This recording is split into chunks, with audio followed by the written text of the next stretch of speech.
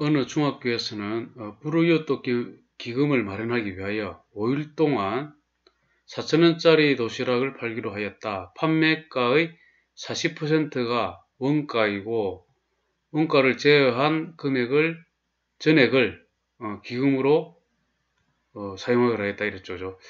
그러면은 40%가 원가니까 그 원가를 제외한 전액을 기금하는 것은 60%에 해당되는 거죠. 판매가에 판매가의 60%를 기금으로 사용하겠네.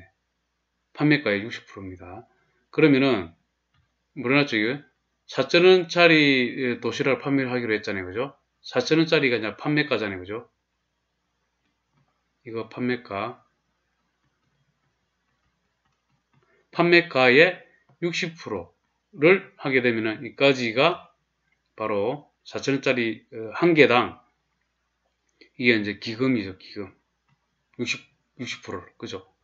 그리고 며칠 동안이고, 5일 동안 팔죠. 5일 동안 팔죠. 그 다음에 몇 개? X개.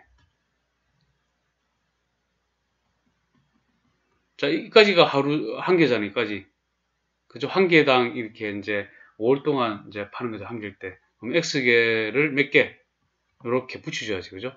그래 이렇게 총 5월 동안 총 판매하는 도시락의 총 금액이 되죠. 그죠? 총 금액 됩니다. 이제.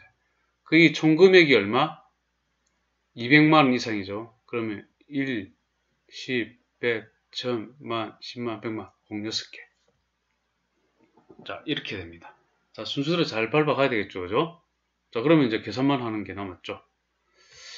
그러면 일단은 0 3개를 어, 없애고 그 다음에 요거 지금 4, 5, 20 20 곱하기 0.6x 그 다음에 2000이죠. 그럼 여기 또 0 하나 없애고 또 이렇게 하면은 100 10을 곱하면 6x 1001이죠. 그럼 x가 6분의 1001이 됩니다. 이거는 6, 1은 6, 그럼 40, 66이 36, 66이 36. 자, 이런 식으로 가죠. 그래서 이거 167 이거 뭐 도시락을 쪼개고 할 수는 없잖아요. 그죠? 쪼갤 수는 있지만은 한 개 단위로 가야 되기 때문에 계속 자연수.